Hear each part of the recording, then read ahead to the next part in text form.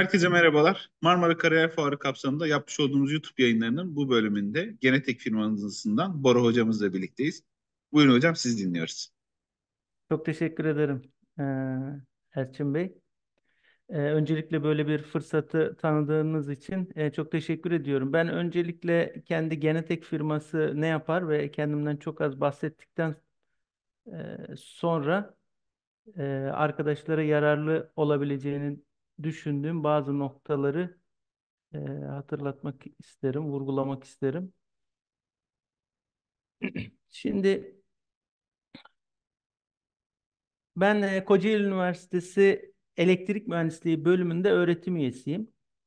E, 2012 yılında Kocaeli Teknopark'ta Genetek e, isimli firmayı e, kurdum. Genetek ne yapar?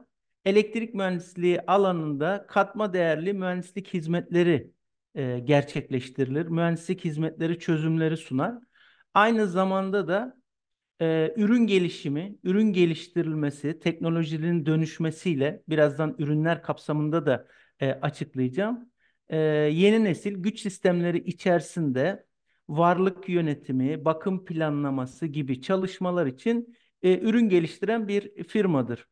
Kendi kapsamımız altında Genetek güç sistemleri, power sistem, Genetek power quality, Genetek electromagnetics olmak üzere 3 ayrı farklı branşı e, bulunmaktadır. Şu anda e, yaklaşık 15 kişilik bir ekibiz. Bilgisayar mühendisleri, elektrik mühendisleri, elektronik haberleşme, donanım mühendisleri olmak üzere 15 kişilik bir e, ekibiz.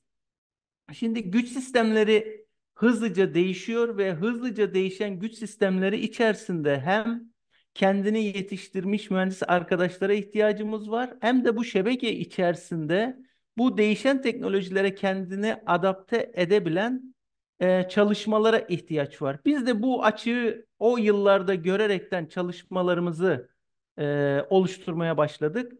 E, Genetek e, Power System dediğimiz e, ekibimiz e, bizim ülkemiz 21 dağıtım şirketinden oluşuyor. Özel dağıtım şirketinden oluşuyor. Öncelikle 21 özel dağıtım şirketi için master plan çalışmalarıyla başladı. Bu bölgelerdeki enerji dağıtım planlaması mevcutta ve bundan sonraki önümüzdeki yıllarda nasıl olmalıyı planlamakla başladı. Alçak gerilim şebekeleri, orta gerilim şebekeleri, değişen güç sistemlerine entegrasyonlar ne olacak? Ee, bunlar için çalışmaya başladı. Bu esnada gördük ki katma değerli dediğimiz mühendislik hizmetlerine ihtiyacımız var. Yüklerin niteliği çok hızlı değişiyor, üretimlerin niteliği çok hızlı değişiyor. Bunlara entegre olabilecek analizleri gerçekleştirmemiz e, lazım ve analiz altyapımızı, analiz parkur altyapımızı e, belirginleştikten sonra endüstriyel tesisler için e, çalışmalar gerçekleştirdik. Bu endüstriyel tesisler için işte e, yaptığımız çalışmalara değinecek olursak işte yük akışı, kısa devre, koruma koordinasyon, izolasyon koordinasyonu, geçici rejim analizleri katma değerli olarak nitelendirdiğimiz bir kısmının uzmanlık gerektiren analizleri bizim e, kendi mezunlarımız ile e, çalışmalarla gerçekleştirdik. Ve bu çalışmaları gerçekleştirirken 2012 yılında güç kalitesi veya kalitesizliği probleminin bütün şebeke için bir sorun olacağını değerlendiriyorduk ve bugün geldiğimiz noktada ne kadar haklı olduğumuzu gördük. Çünkü elektrikli araç yükleri dediğimiz yükler şebeke içerisinde çok hızlı e, konumlanmaya başladı haklı sebeplerle. İşte karbon salınımlarının azaltılması, elektrikli arabaların getirdiği birçok farklı avantajlar, enerji maliyetleri gibi e, sebeplerle biz daha çok e, genetik olarak bu elektrikli araçların şebekeye bağlanması durumunda oluşabilecek problemlerin çözümü üzerine, çözümleri üzerine projeler geliştirdik, geliştiriyoruz ve önerilerde e, bulunuyoruz. Çünkü araç sayısı arttıkça biz bu araçlar için evet yeni şebekeler yapacağız ama mevcut şebekeleri de kullanmaya devam edeceğiz. Elimizdeki bütün elektriksel varlıkları bir anda kenara çıkartmayacağız. Dolayısıyla bu varlıkları daha fazla kullanabilmemiz için neler yapmamız lazım, nelere dikkat etmemiz lazım. Bu kısımda e, çaba sarf ettik, sarf ediyoruz ve e, en azından bu sektörde aranan bir e, yere geldik. Keza güç sistemleri ölçümleri dediğimizde ülkemizde raylı ulaşım çok hızlı bir şekilde e, yaygınlaşıyor. Biz bunu yerli imkanlarla yapmaya çalışıyoruz ama yurt dışından gelen e, uygulamalar da var. İşte bu uygulamaların gerçekleşmesi esnasında oluşabilecek problemlerde yok sizin şebekeniz kötüydü, işte şebekeden darbe geldi veya sorunun nerede olduğunu bulmak adına e, yetişmiş kalifiye bir e, arkadaş grubu oluşturduk. Artık bu tür problemlerde aranan bir firma haline geldik. Keza işte buradaki e, liman uygulamalarında olduğu gibi büyük güçlü e, ünitelerin devreye girmesi, işte rejeneratif çalışma, orta gerilimden bağlanma e, gibi bunların hesap edilmesi, boyutlandırılması ve problem çıktığında problemlerin çözülmesi için bir e, mühendislik ekibi e, oluşturduk. Biraz önce bahsettiğim e, şeylerden bir tanesi de bizim güç sistemleri içerisinde varlıkları uzun süre kullanmamız lazım. Özellikle elektrik mühendisliği, elektrik tesisleri anabilim dalı kapsamındaki varlıklar, enerji yatırımları çok pahalı yatırımlar ve uzun dönemli yatırımlar, kısa dönemli e, kullanamayacağımız kadar pahalı yatırımlar. Bu varlıkların varlık yönetimi kapsamında literatürde asset management olarak geçen daha uzun süre sorunsuz çalışması için neler yapılabilir kısmı kapsamında çalışmalar gerçekleştiriyoruz. İşte e, sahada 100 tonluk, 200 tonluk bir varlığınız var. Bununla ilgili problemin önceden tespit edilmesi, var olan problemin lokalize edilip en hızlı şekilde tamir edilip e, kullanılması kapsamında çalışmalar gerçekleştiriyoruz. Bu konuda da kendi coğrafyamızda aranır bir e, ekip haline geldik. Bunları gerçekleştirirken tabii ki çok fazlaca bizim kapsamımızda standartları okumamız ve o standartlara bağlı çözümleri özümsememiz e, gerekiyor. İşte IEC standartları, IEEE standartları e, kapsamında değerlendirmeleri yapmamız lazım. Geneteğin bir diğer e, bacaklarından bir tanesi, çalışma alanlarından bir tanesi manyetik analiz dediğimiz kısım. Bunu çok önemsiyoruz ve özellikle son 3-4 senede bu kapsamda birçok firmayla ARGE projeleri gerçekleştiriyoruz. Sonlu elemanlar yazılımıyla e, malzeme tanımlarını gerçekleştirerek e, ürün dizaynı konusunda çalışmalar gerçekleştiriyoruz. Esasında baktığınızda çok ciddi bir sanayi üretimimiz var. Bu sanayi üretimimizin çoğu kendi prototiplerini çok hızlı denemelerle, iyileştirmelerle gerçekleştiriyor. Genetek burada ne yapıyor? Genetek burada elektriksel cihazların dizaynında bu malzeme parametrelerini alarak bir optimizasyona götürüyor. Yani siz 5 6 denemede bulabileceğiniz iyi bir varsayımla iyileştirmeyi biz bilgisayar programlarında simülasyon üzerinde gerçekleştirerek şu parametreleri değiştirdiğinde şöyle e, yapman gerekir kısımlarını e, oluşturuyoruz. E, bu kısımda da birçok çalışmamız, e, yayınımız mevcut. Bunlar işte kablo sektörü, ülkemiz kablo sektörü açısından çok zengin bir e, coğrafya. Transformatör imalatçıları bu açıdan da e, çok zengin e, bir coğrafya ve bu e, transformatör, kablo, parafudur, akım trafosu, gerilim trafosu ürünlerinin gelişmesi kapsamında 400 volttan 400 kilovolta kadar gerçekleştirdiğimiz çalışmalar var.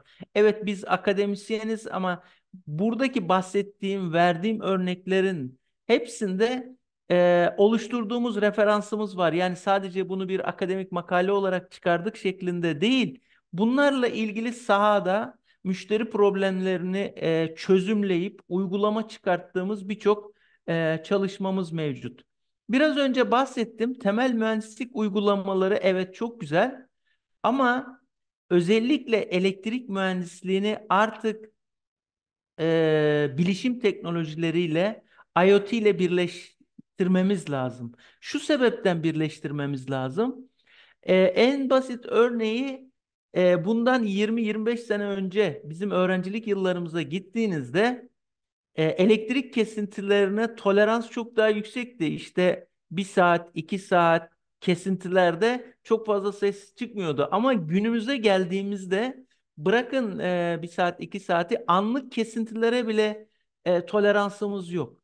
E, ilgili dağıtım şirketleri, ilgili iletim şirketleri bu kesinti sürelerini azaltabilmeleri için evet yatırım yapacaklar tamam ama yatırım yapsalar bile güç sistemi içerisinde arıza olmaya devam edecek. Bu dünyanın en geliş şebekelerinde de arıza oluyor. Fakat arızaya müdahale süreleri kısalıyor. Nasıl kısalıyor?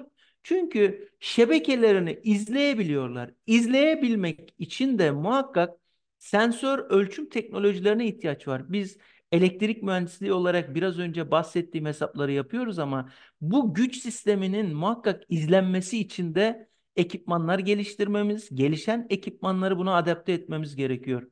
Ve marka tescilini aldığımız bu kapsamda Genwise transformatör izleme e, sistemini e, geliştirdik. E, bu e, Genwise e, sistemi bizim e, transformatör varlıklarımız için şebeke içerisindeki işte en e, önemli biraz önce bahsettiğim elemanlar için izleme sistemi e, geliştirdik. Bunu Teknopark e, projesi olarak e, gerçekleştirdik.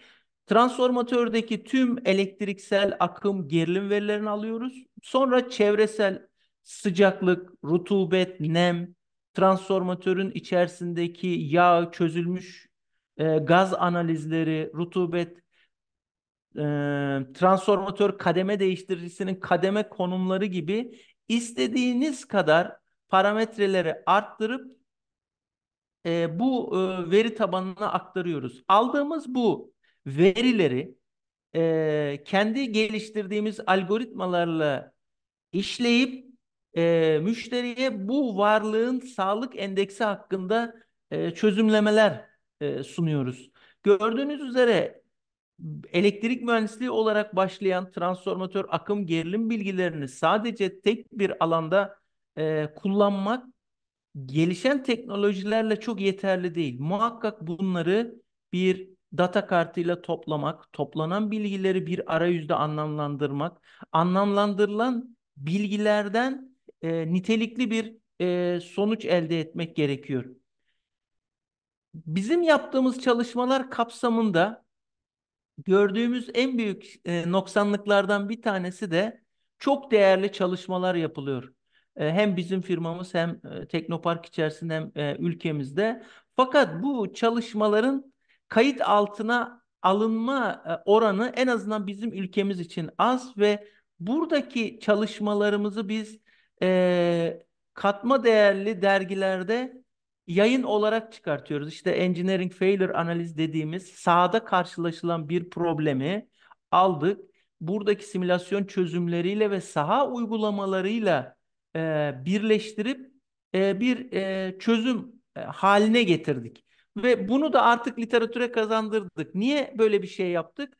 Buradaki şeyimiz bizden sonra gelenler böyle bu yollardan geçerken daha kolay e, bir e, sıra takip etsinler diye. Benzer şekilde e, teknik notlarla oluşturduğumuz teknik notlarla yeni başlayan arkadaşlara bir yol kılavuz harita e, çıkartmak e, istedik. Ve zamanımızın el verdiği ölçüde muhakkak bu edindiğimiz bilgileri e, arkadaşlarla paylaşıyoruz. Şimdi e, bu yaptığımız çerçevede gördüğümüz şu, konvansiyonel elektrik mühendisliği uygulamaları, elektrik enerjisinin açılması, kesilmesi, dağıtılması, e, bu varlığa karşı ödemelerin alınması bizim elektrik mühendisliğinin temel e, çalışma alanlarından bir tanesi. Ancak bu sistemleri daha hızlı, güvenilir ve kontrol edilebilir hale getirmek için izlenmesi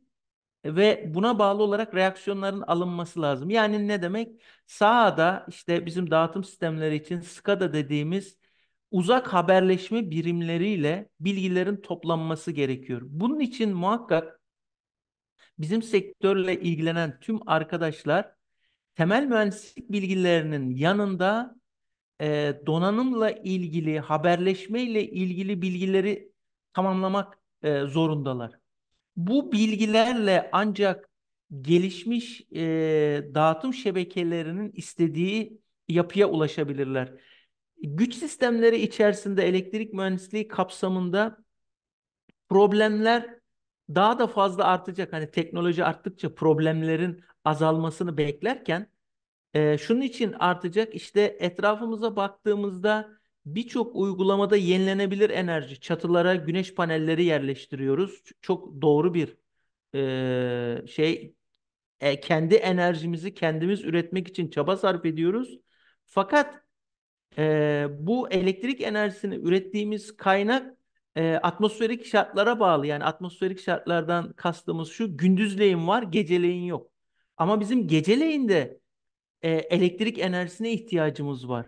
Dolayısıyla bu teknolojilerin muhakkak batarya depolama teknolojileriyle desteklenmesi lazım ve bu destekleme işleminde e, muhakkak birbiriyle entegrasyon, haberleşmesi, yönetilmesi kısımlarının çalışılması lazım.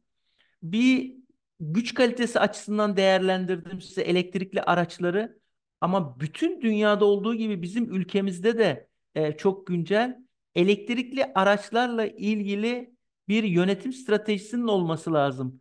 İşte Kocaeli bölgesindeyiz. Kocaeli bölgesindeki elektrikli araçların e, tüm araçların yüzde 25'i elektrikli araçlara dönmesi halinde bu oluşan güç değerinin nasıl yönetileceği, bu bizim gibi teknopark kuluçka merkezlerinde geliştirilecek projelerle çözülmesi gereken bir e, unsur. Şu an e, böyle bir sihirli değnek, sihirli program yok. Evet birçok algoritma var ama bu algoritmaların nasıl yönetileceği şu an daha çok e, belirli değil. Çünkü işin içerisine teknik kısıtlar girecek, para girecek, diğer unsurlar girecek. Dolayısıyla güç sistemleri içerisinde algoritmalarla ilgili kısım en azından bizim sektörümüzde uğraşan tüm mühendis arkadaşların e, ilgilenmesi gereken konulardan bir tanesi. Benim en önemsediğim hususlardan bir tanesi tüm e, çalışacak arkadaşların e, uluslararası konusuyla ilgili uluslararası standartların ne olduğu, içerisinde nelerin olduğu, neleri istediği, neleri sınırladığı bir standart okur yazarlığının e, olması lazım. Çünkü mühendislik uygulamalarının gün sonunda dayandığı e, temel etmen neyle karşılaştırmamız lazım? Sınır ne? Neye uygun olması lazım? Bunu geliştirdik. E, bu geliştirdiğimiz cihaz uluslararasına çıktığında oralarda kullanılabilir mi? Bunları değerlendirmesi lazım. Zaten bu standart okur yazarlığının e, artması bizim e, kendi ürünlerimizi, kendi hizmetlerimizi daha doğru boyutlandırmamız e, anlamına e, geliyor diyeyim ve Genetek'le ilgili kısmımı e, tamamlayayım e, Erçin Bey. Hocam genel olarak arkadaşlara kendini geliştirme yönünde de aslında e, tavsiyelerde bulundunuz ki bunlar çok kıymetli e, mesleğe yeni başlayacak arkadaşlar için. Yaptığınız işin de özellikle de biz de hani kendi bölgemizde evet elektrikle ilgili yaşadığımız sorunlardan yani böyle elektriği daha stabil bölgelerde yaşayanlar bunu hissetmiyordur ama e, elektrikle ilgili sorun yaşayanlar özellikle büyük tesis işletenler için ne kadar kritik olduğunu biz farkındayız. Eminim ki evet. e, yeni mezun olmuş meslektaşlarınız da e, bu e, alana ilgi duyuyordur o anlamda diye düşünüyorum. Bu anlamda verdiğiniz bilgiler ve tavsiyeler için çok teşekkür ediyorum kıymetli hocam. İyi günler diliyorum. Çok teşekkürler. Sağ olun. Sağ olun.